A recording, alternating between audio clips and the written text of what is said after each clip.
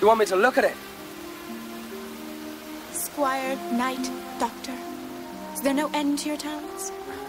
I lay no claims on talent, my lady, but I have by necessity been trained in the basics of medicine.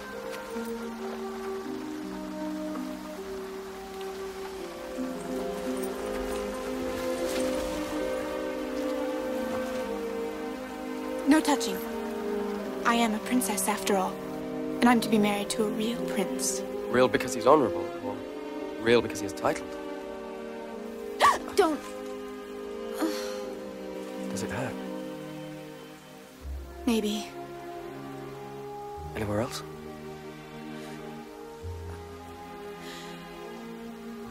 You must admit he's handsome. The most handsome man in all of England. Who? Prince Arn, my fiancé. Oh, yeah. And here. He's very, very well dressed. And.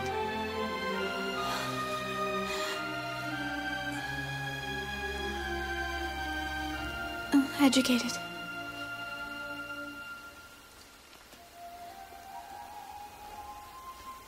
It's not broken.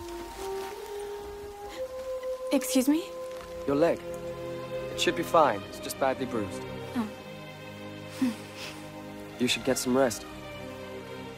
We leave here at first light. Valiant. It was you in Gawain's armor at the joust, wasn't it?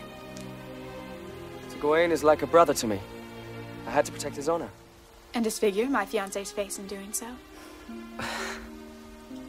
I'm sorry. We'd better get some sleep.